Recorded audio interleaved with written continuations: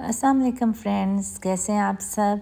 आज मैं आपके लिए बोंग पाया की रेसिपी लेके आई हूँ। हमने पहले भी कुछ मटन पाए बनाए बीफ के बनाए, लेकिन ये हम बनाएँगे बोंग के साथ और नली के साथ, जो कि बहुत ही शौक से खाए जाते हैं और बहुत ही लजीज होते हैं। अगर आप मेरे चैनल पर नए हैं तो सब्सक्राइब करना ना भूलें और साथ में बेल आइकन को प्रेस करना ना भूलें। ताकि आप मेरी कोई भी रेसिपी मिस ना करें। तो चलें अब हम रेसिपी की तरफ़ चलते हैं। इसके लिए मैंने दो पाउंड पाए लिए थे बीफ के और इसके साथ ही मैंने आ, थोड़ा सा बोंग का गोश्त लिया था। आ, बड़ी साइज़ की थोड़ी सी बोटियाँ तकरीबन चार अदद मैंने ले ली थी और साथ में मैंने कुछ हड्डियाँ ले ली थी नली ले ली थी। और इन सबको मैंने पैन में डाल लिया जिसमें भी बनाना था और उसके साथ ही मैंने एक मीडियम साइज़ का साबत प्याज रख दिया इसके बीच में।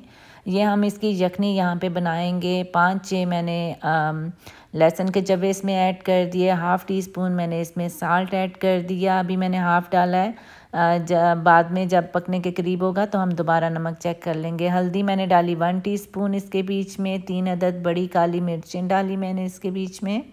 और एक अदर टुकड़ा मैंने दालचीनी का डाला, पाँच छः मैंने या चार पाँच के करीब लौंगे डाली, आधा मैंने बादियान डाला, हाफ़ टी स्पून काली मिर्च साबत डाली मैंने और तकरीबन चार कप पानी लेके उसके बीच में या इतना पानी लें जिसमें जो पाए हैं वो डिप हो जाएँ। अगर आप इसको प्रेशर कुकर पे बना रहे हैं तो तकरीबन आप इसको 45 टू 50 मिनट तक प्रेशर के ऊपर बनाएँगे।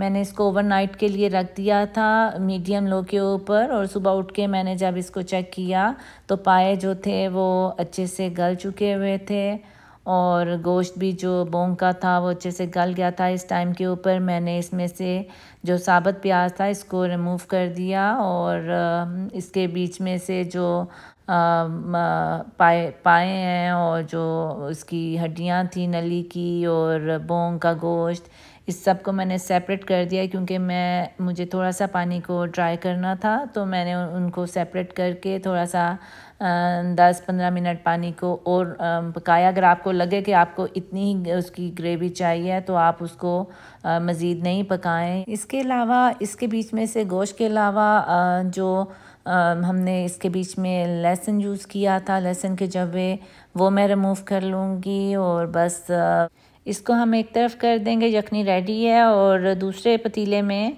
हम मीडियम के ऊपर हाफ़ कप ऑयल लेके उसके बीच में एक अदद मीडियम साइज़ का प्याज मैंने लेके उसको पीस लिया। वो ऐड कर दिया। जब ऑयल थोड़ा सा गर्म हुआ तो और साथ ही इसके बीच में तकरीबन टू टेबल स्पून मैंने जिंजर गार्लिक पेस्ट ऐड कर दी। उसके साथ थोड़ा सा मैं इसको भून लूँगी अच्छे से।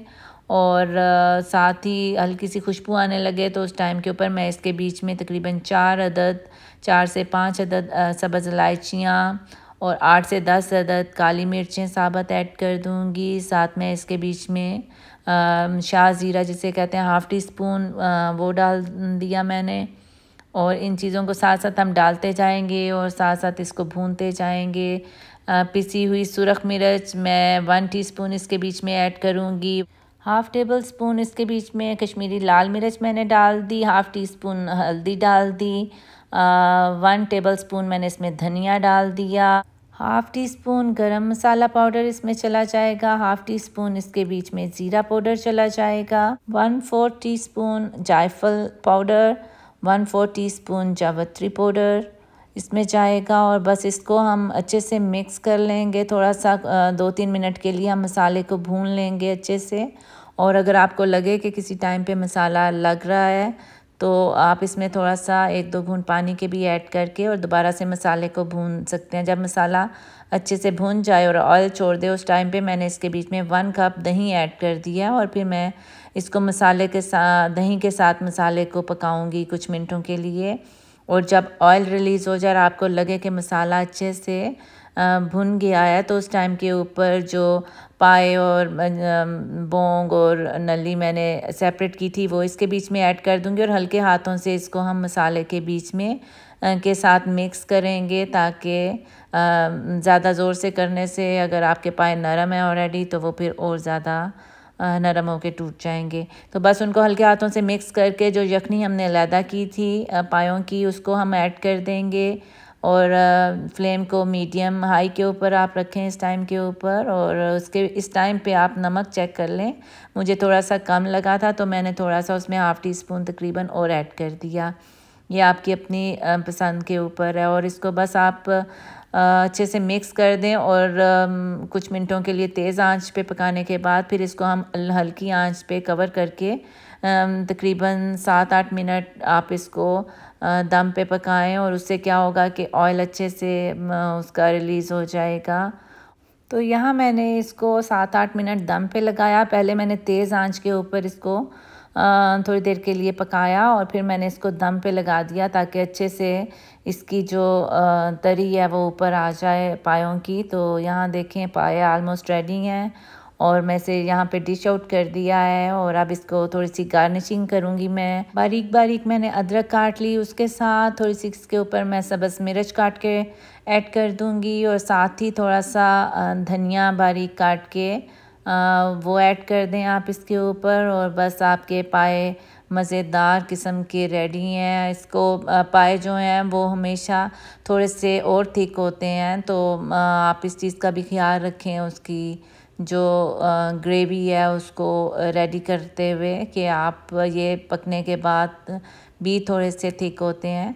तो यहाँ आप देख सकते हैं कि पाए रेडी हैं, बहुत ही सॉफ्ट और मज़ेदार किस्म की है और मैं आपको यहाँ पे इसको थोड़ी सी इसकी पाई की बोटी तोड़ के चेक करवाती हूँ कि कितनी सॉफ्ट और नरम बनी है। इस टाइम के ऊपर आप थोड़ा सा गरम मसाला भी इसके ऊपर स्प्रिंकल कर सकते हैं। तो यहाँ देखें कि कितनी सॉफ्ट इसकी पाई की बोटी है और गोश्त भी कितना अच्छे से टूट रहा है सॉफ्ट हो गया है बहुत ही ज़्यादा। तो ये चीज़ होती है कि जब आप इसको ओवरनाइट बनाते हैं तो उसमें और जब आप बनाते हैं तो ये भी एक डिफरेंस होता है। अगर आप इसको ओवरनाइट बनाएँगे तो ये ज़्यादा लजीज बनेंगे और अगर आप और सॉफ्ट बनेंगे और अगर आप इसको प्रेशर कुकर में बनाएँगे तो मज़े के तो बनेंगे, लेकिन वो बात नहीं आएगी जो ओवरनाइट की होती है। तो यहाँ पे कुछ मैंने सर्व करते हुए इसमें जो हमने नली ऐड की थी, वो भी जब आप सर्व करें तो बीच में रख दें। यहाँ पे मैंने जो नली ऐड की थी, मैं आपको उसमें दिखाती हूँ। कुछ उसमें से नली का जो गूदा है, वो बाहर निकल के उसमें मिक्स हो गया था और कुछ यहाँ पे देखें कि अभी तक नली के अंदर है तो इसको आप सर्विंग करते हुए हमेशा बीच में डालें। ये वाला वो गूदा है, जो नली में से निकल गया था। तो बस, उम्मीद करती हूँ आपको ये रेसिपी अच्छी लगेगी और अच्छी लगे तो हमेशा की तरह थम्स अप देना ना भूलें लाइक करें सब्सक्राइब करें और अपनी दुआओं में याद रखें। नेक्स्ट टाइम फिर आऊँगी एक नई रेसिपी के साथ। तब तक के लिए खुदा हाफिज़।